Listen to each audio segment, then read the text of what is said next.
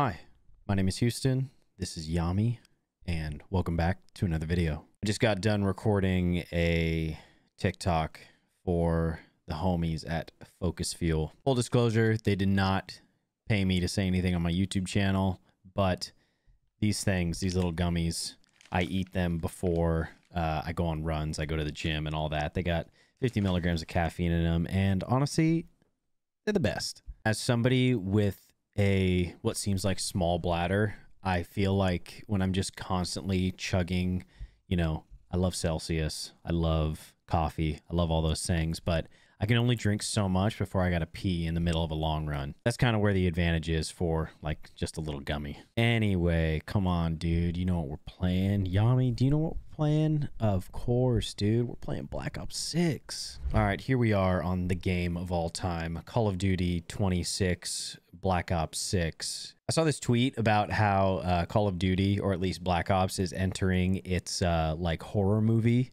arc where you could be like, yeah, the sixth one in the franchise is the best one. Isn't it funny how like um, a first version of a movie will be its like classic, like um Alien, for instance. I love Alien. I'm doing I'm doing the Trump hands for some reason, the accordion hands. That's how you can tell I'm lying. No, uh Alien is fantastic, and then I'm not crazy about uh the ones after that, but then Prometheus in what was that 2012? Prometheus, banger, cinema, amazing. I even loved Covenant, even though I'm not a fan of the direction that Ridley Scott took with David's whole character arc. I hope that if we get a third movie, he really tries to reel all that in instead of, you know, doing what Ridley Scott does best and just kind of like planting a bomb inside the story and blowing it to all hell. Before we really get into it, uh, I just want to thank everyone for the response on the don't quit your job video. I really, really appreciate that. Videos like that, I really make them in hopes that they reach the intended audience and that people can really connect and resonate with what I'm saying in those videos. So when that actually happens, it really does bring a lot of joy to my life. And it it's the reason that I started making YouTube videos to begin with. So if you're one of those people that subscribe to me because of that, then I appreciate you. And to anybody else that's returning, I appreciate you as well. Okay, we got the M4 and the AK gold. So now we have the AIMs or the AIMES. You know, not to be somebody that's like, oh man, big things coming, but I got a piece of tech and big things are coming. I got this guy right here, DJI Action 4, just like an action cam, basically. Ever since I started to get over posting fitness content, mostly the running stuff, um, I've always wanted to find a way to like expand on that content. And after talking to a couple friends, uh, they, they gave me a pretty good idea on like how I could uh, like leverage that type of content Oh my god, I'm horrible. The only thing about the only thing about like running or fitness content on this channel is that even though I talk about it a lot, I'm not sure how it will like mix with all the commentary content because at the heart of all this stuff it is it is gaming related. It's like I'm playing games and then just yapping the whole time. But I'm not sure how many people will uh who is shooting me? I'm not sure how many people will like be in that Venn diagram, you know, like that that mixture of audiences. But because of that, that's kind of why I want to do it because at the end of the day, I think, oh my god, accuracy. At the end of the day, I feel like gamers are a demographic that could probably exercise more. A lot of people that do this stuff for a living, especially, they are sitting on their ass all day. And that's really not good for you. Whether you want to hear it or not, your body is slowly dying the more you take up the majority of your day with just sitting down. I mean, you're going to be dying no matter what. That's, you know, just part of living a finite life. But at the end of the day, the more movement, uh, probably the better. To a certain point, at least. People are impressionable. And especially when it comes to ga the gaming scene, there are a lot of people that have a ton of influence that aren't really leading the greatest examples. Know, grinding out videos at the detriment of your health is not really the uh, type of person that anyone should aspire to be. Because no matter how much money you get from grinding out videos and how many followers you have, at the end of the day, your health should be the number one priority. I am speaking in some absolutes right now, which I generally try not to do. Apparently there was like a big bug with double XP where it's like most people or really like anybody wasn't getting proper double XP.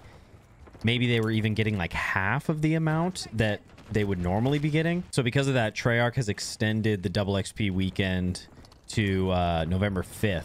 And I'm pretty sure it was only supposed to go until the 3rd or the 4th.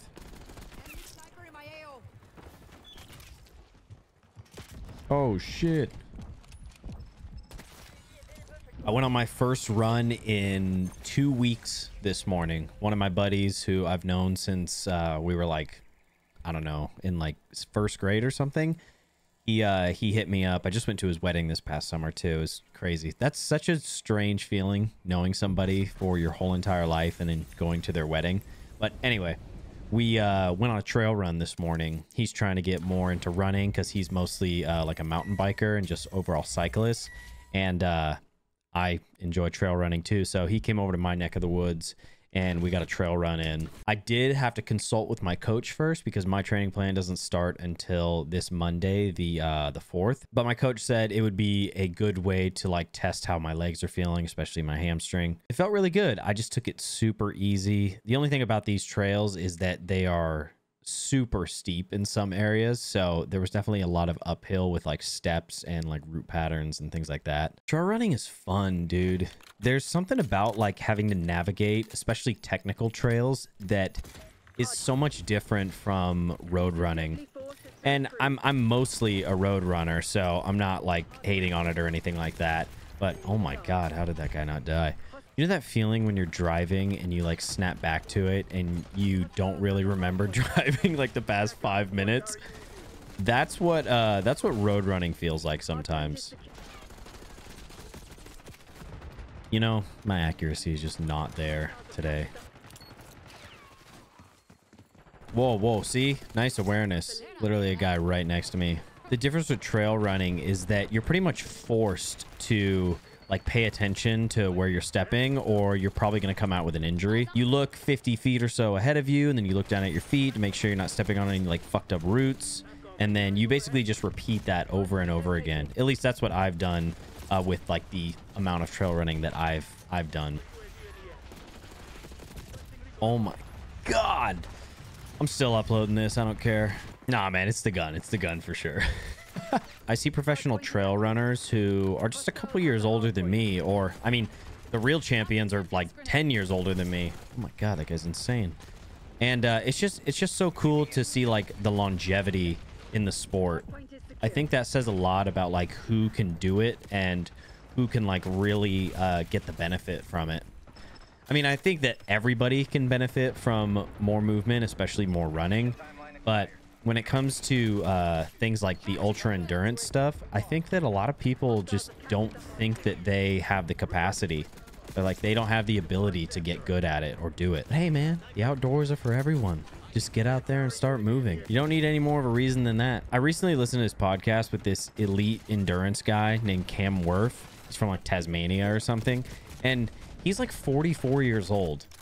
And if a 44 year old can get like seventh in the Ironman World Championship, then what the hell are you doing? like, and that's not to say you haven't done anything. It just means that like you're capable.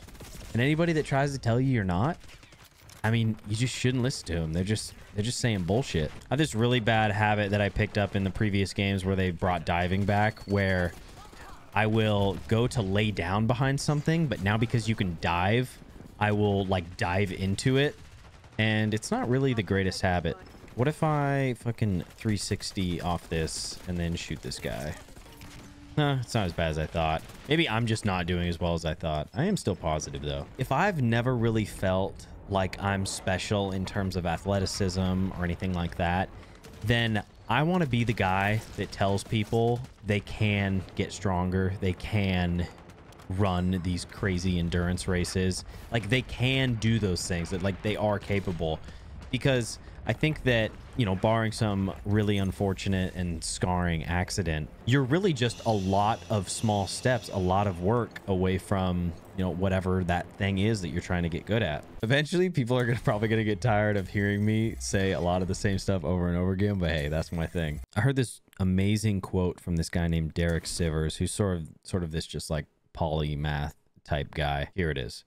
Mastery is the best goal because the rich can't buy it, the impatient can't rush it, the privileged can't inherit it, and nobody can steal it.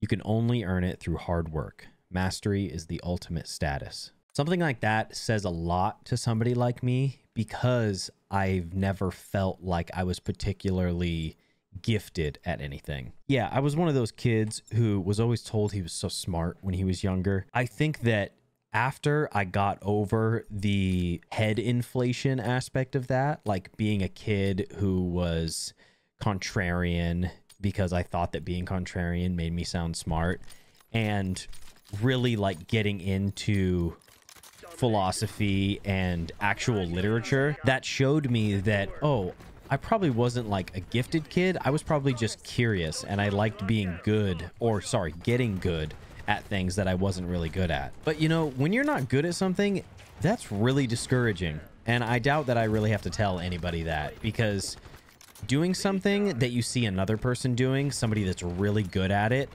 and that just immense amount of disappointment you get where you're like, wow, this is really hard and I never want to do it again because I really suck at it. It's like me with aiming in Call of Duty. Honestly, I think the only reason I would want kids is so that I could promote that outlook in my child. Like I want to be able to raise a kid who is curious about the world, is humble in his understanding of himself and others and accepting and you know all the amazing qualities that I read about in the great people of history. I would love to try and instill that in my kid. Not to make them perfect, but to make them understand that life is going to be full of problems to solve and things to get better at. And it's going to be a never ending quest. But that's what makes life so beautiful the fact that it is a never ending quest. I made a short the other day talking about how I always read a lot of the same books. Like, I don't increase the amount of books that I've read. I'm not somebody that uh, stacks up like 20,000 books on their nightstand or keeps a list of how many books they've read throughout the year. I used to be that person, but the more that I realize that I can get what I really need from a certain amount of books if I really pay attention to them, the more I deviated away from having that big stack and instead having a dedicated stack. Ones that I could always return to and ones that I can get the most value from because books are this amazing piece of technology.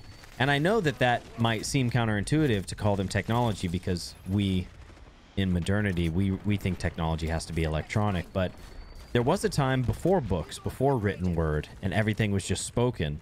And can you imagine how insane it would be to live in a world like that? In that video about the books, I likened reading and keeping track of all these books you've read to uh, getting tasks done in life. If you're trying to read all the books, you're just going to end up exhausting yourself. You're never going to read all the books because there are always going to be way more books releasing every single day than you will finish in a day. Much of life and its tasks are like that because there's always going to be laundry to do. There's always going to be uh, garbage to take out. There's always going to be things to do. But you don't have to let that get to you because the sooner you accept that fact and let that anxiety of all the things that have to be done wash away, the sooner you can realize that you can just put time towards the things that really matter and really, really lean into them. This is what I meant the other day when I said to do things daily-ish as well. So I'm kind of rehashing that idea a little bit, but something that I've learned over the years is that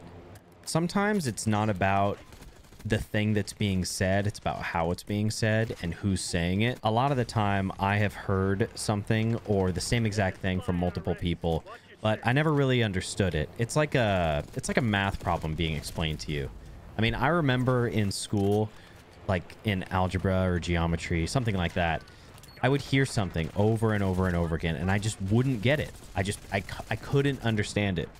And then somebody at some point was explaining it to me in a different way using a different analogy and it finally all clicked for me. And you know, that's that's an amazing feeling when something like finally clicks like that. And everybody knows how that feels. Think about every time you don't understand something and then all of a sudden you do understand it. It's such a crazy feeling because after you do understand it, you don't know what it's like to not understand it. And I know that can kind of be a little bit confusing.